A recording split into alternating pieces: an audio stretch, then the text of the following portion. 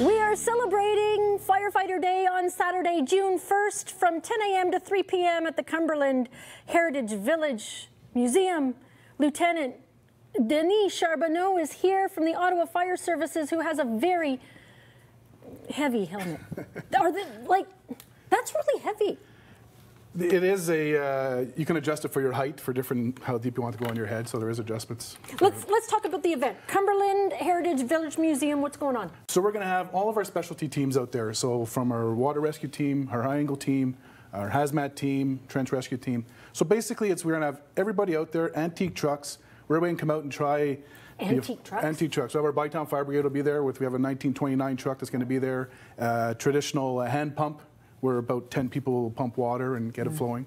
Very Uh, cool. Games for the kids, water ball. Now, what's the idea? What's the idea behind what you are trying to achieve by taking part in this? So basically, it's to open up the community so they can see what we do and try all the equipment we try and have any questions. Some people are shy to ask questions. Right there, there's going to be over 150 firefighters there. They can ask questions and so Because on. I, I was saying actually to um, uh, Denny before we started the segment that I was really surprised at how many fires there really are in Ottawa.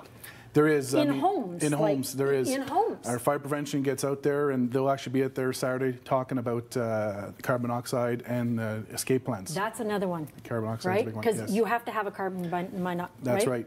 Yes. One in every home. One in every home, one in every level. More the merrier. You know, there's never not enough. Families, I'm sure, are going to be stopping by. And that is a perfect opportunity, I'm sure, for you to talk about, and we've all been through it, even through. I remember firefighters visiting our public school talking about making a plan. Make a plan. Make a plan. That's the big thing. You got to get out. Make a plan. Teach the kids. Teach the adults how to get out. Um, if there's things in your house, if someone's in a wheelchair or so on, call the fire department. Let us know so we have a pre-plan of that address. And all those little things help us. Really? You guys Yes. do that? Yes, we do. So that's everything that helps us. If anything happens, that we can get in there. We know that there's a wheelchair or able-bodied person there. Antique fire trucks. That kind of that's that's kind of cool. How old? How? So I, I believe the oldest one there is going to be in 1929. It's the Bytown Fire Brigade are coming out with their vehicles. So it is an Ottawa fire truck. I don't know if it came from Ottawa. Okay. This is the Bytown Fire Brigade. They're the heritage of the fire service, so they have trucks from all over. That's very But cool. yeah, it is very- Okay, let's go through what you've brought. So basically, on uh, June 1st, kids and adults will be able to come out and try on the equipment. So that's our helmet that we wear. I was saying I did do the media challenge uh, back years ago. Uh, you're familiar with that, Yep. right? Having to go through, Through the tower, tower. and the whole, yeah. That's right. Yeah, I didn't fare so well. Just, just saying. But anyway, carry on. Practice makes perfect. I'm sure. So here's the pants we wear. We have boots that are not on there because they kept falling off. So here's our pants that we wear. Which weigh what? So basically, your pants, your jacket, and your helmet, you're looking about 50 pounds of weight. And then from there, we put on our jacket. So basically, picture a big skidoo suit. Uh, it's very warm. It uh, protects us from the heat.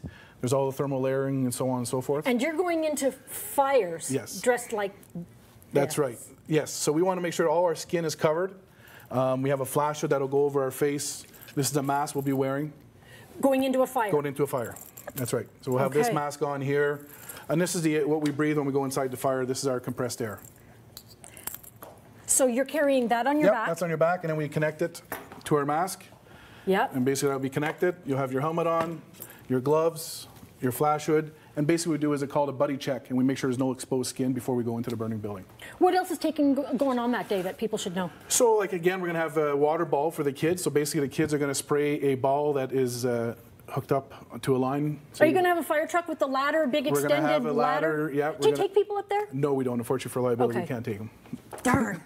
Darn. Yeah, I guess so. 'cause those get Um, Charity pretty- pretty high. barbecue. Um, Who's the charity? Well, the charity Salvation Army is actually going to be hosting a barbecue. Nice. So, so the Salvation Army call it the Ballard truck. They come out to our fires, and whenever they're for extended time, they help us out and they feed the firefighters on scene. There's going to be a firefighters competition Firefighters competition. So you'll see local firefighters competing for bragging rights. for like what? What are you guys going to do? So basically, they will uh, they'll come in. They'll, they'll go through an obstacle course. They'll hit a forcible entry machine, which is about a 175 pound beam that they're going to have move five feet, and finish off with a rescue Randy 175 pound mannequin and drag him about 50 feet.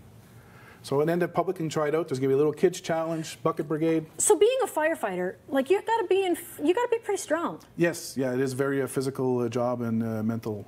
Psychological job too to go through. Do you like what you do? I do. I love it. You know, being out. Are you out like there? this. Are you out there? I'm out there uh, in the community, you know, fighting fires and talking to the people, and it's, it's a fantastic job. Really And just, rewarding. just a reminder to everybody too that you guys don't just fight fires. I mean, you guys are the first responders for a lot of different. medicals, car accidents, um, uh, water rescue, uh, Yeah. high angle, things like that. We're, we're there.